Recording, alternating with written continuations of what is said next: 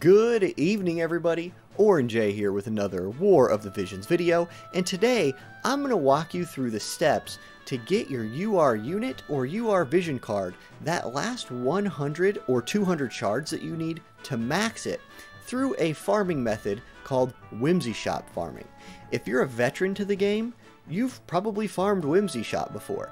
If you're new to the game and you're trying to figure out how are people getting all of these shards for these units and vision cards and all this, well, one of the ways we're doing it is by Whimsy Shop farming. And if you've been too scared to just ask somebody because you didn't want to look like you didn't know, give this video a watch and I'm going to walk you through the steps that I use to Whimsy farm to finish off my new things.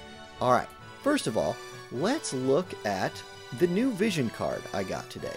I got Skull's vision card today, and I got it off of a step up banner. It's right here.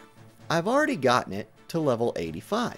Great! There was shards in the shop, I got some coins, whatever. You get this initial influx of shards whenever you get a new thing in the game right now. But what do I need to get it to 99? A lot. I'm at 0 out of 125. I need 125 more shards to finish this thing. But because it is on banner right now, it is featured. And things that are featured that you own will show up in what's called the Whimsy Shop. How do you get a Whimsy Shop, you might ask? Good question. Well, my method for getting a Whimsy Shop to spawn is pretty simple. I go to Story, I go Chapter Select, all the way down to Chapter 1, and then I select scene 1 and I go to the first battle, Twin Princes. This is a really, really easy battle. There's two wolves and anybody that you have that you've worked on at all is going to annihilate these wolves. Like this was meant for like a level 1 Mont to come out here and beat. So I throw a party together of people who I'm working on getting JP for, people who I'm working on building resonance for, because you want to take advantage of the fact you're just going to be cycling through this fight over and over again. Um, energy in this game is not something you just get a lot of for free. You're going to use some energy pots in this method, so make sure you're taking advantage of it by working on espers and building JP for units that you want to build on. So this is my JP farming squad right now, or let's just say it is anyway. What I'm going to do next, I'm going to go to battle settings, repeat settings, I'm going to click unlimited repeats, and then I'm going to click this right here. I want it to quit repeating the battle when a whimsy spot, when a whimsy shop spawns. Then X, I'm going to click repeat, and I'm going to click embark.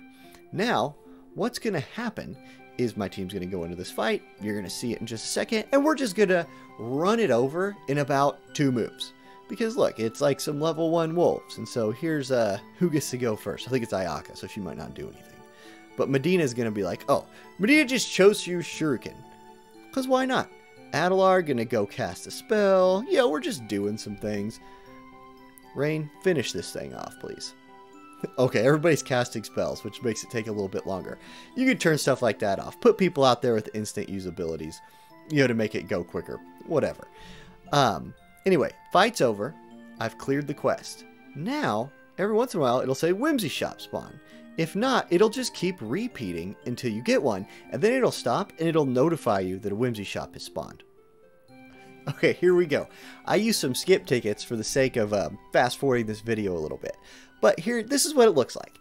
Your, your fight is going to stop on this screen right here. It's not going to keep repeating the battle because we checked to say, hey, stop when a Whimsy shop spawns. Cool. Now you're going to click to the Whimsy shop and it's to load in and it's to look something like this. Right here, you see, I have this new vision card and it guarantees me, guarantees three shards of it every time the Whimsy Shop spawns. So I'm to go ahead, I'm to buy those up. Awesome. And then I'm to scroll down and sometimes you'll get lucky and you might get some more Whimsy Shop, or some more shards of what you're looking for down here. Uh, I did not. I only got those three. I'm not actively working on anything else in here, so I'm done. That's it. Now, the Whimsy Shop is open for 30 minutes. What I do, what I've found to be the best thing, is I will now not touch the farming for a while. I'm not going to run anything for about an hour. I let the Whimsy Shop end, and then I wait at least another 30 minutes, and then I just start the farming machine back up. That to me has maximized the number of whimsy shops I get in a day without wasting a bunch of my energy and a bunch of my potions when the whimsy shop doesn't even have a chance of spawning again. So, if you follow that method, you're guaranteed to get three shards every time the shop spawns. You have a chance at getting bonus shards down here for regular price, and you will, over the course of the couple of weeks that your unit or vision card is featured, get the shards you need to level it up.